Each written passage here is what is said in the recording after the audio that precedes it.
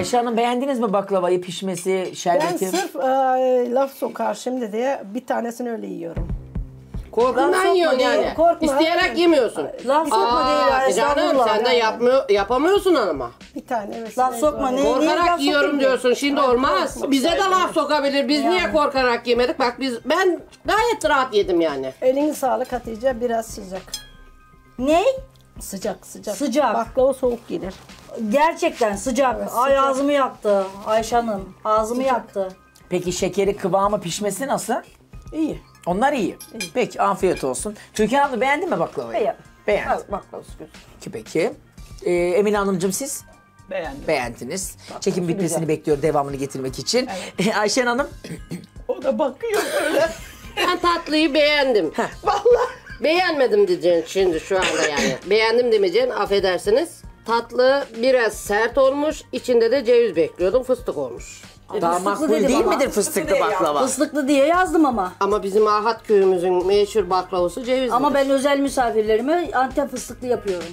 Size de değer verdiğimi gösteriyor bu. Maliyetten kısmamış. Hamuru Yani. tutmamış mı? Yok hamuru şey Ama bak- şerbeti az gelmiş. Kuru Ama yani. baklava çatı, Sert. çıtır çıtır Kurulu, olur.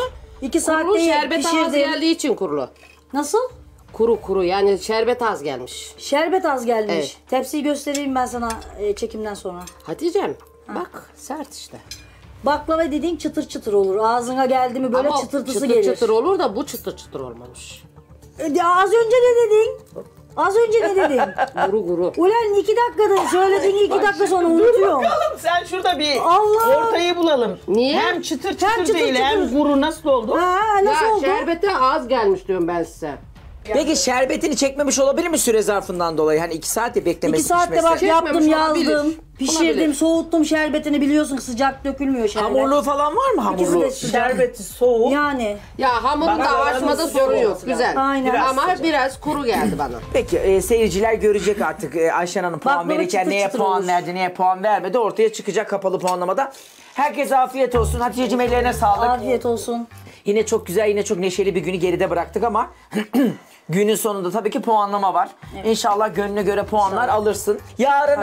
Ahat'taki, Ahat köyündeki son günümüz, Uşak'taki son günümüz çok güzel geçiyordu ama yarın maalesef ki veda ediyoruz. Ve son günü Ayşe Hanım'da. Ayşe Hanım yörük oluşunun altını bayağı çizdi. Bakalım bizlere yörük mutfağından neler sunacak? Yarın bizleri nasıl karşılayacak? En önemlisi yarın yine nasıl bir etap bizleri bekliyor? Evet. Hep birlikte göreceğiz. Evet. Yarın aynı saatte görüşmek dileğiyle hep birlikte puan vermek üzere gidiyoruz. Kendinize iyi bakın. Haydi hanımlar buyurun. Sağlık. Hatice'nin tatlısıyla salatasını çok beğendim. Ama ana yemek çiğ kalmış. Onun için puanım... 2. Hatice'nin salatasını beğendim, böreğini beğendim, pilavını beğendim. O yüzden ona puanımı yazıyorum. 4. Hatice'nin kıyma güzeldi. Eti pişmediydi. Pilavı biraz yağlıydı. Hatice'ye puanımı veriyorum.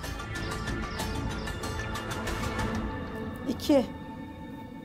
Ben bugün Hatice'nin sofrasını beğendim. Geride kalan yemeklerini de beğendim. Onun için benim Hatice'ye puanım 3. Daha fazla video izlemek için kanalımıza abone olabilir. İlk izleyen olmak isterseniz bildirimleri açabilirsiniz.